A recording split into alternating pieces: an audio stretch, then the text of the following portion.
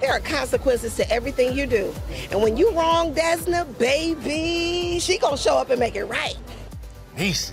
Hmm. we know Niecy Nash's Desna made it out alive on the season finale of Claws, but the fate of Virginia is yet to be seen. I caught up with Niecy at a fundraiser for Kids in the Spotlight. It's a great organization that trains youth in foster care programs to create their own short films, and it gives them great internships. It was hosted by uh, Modern Family star Ty Burrell, who talked about whether this season of the ABC comedy would be their last.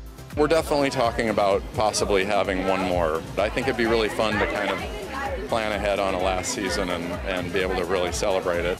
It, it can't end. No. Don't leave any money on the table, y'all. Eh, yeah, Do not leave gotta too stay early. around for a long time. Yeah.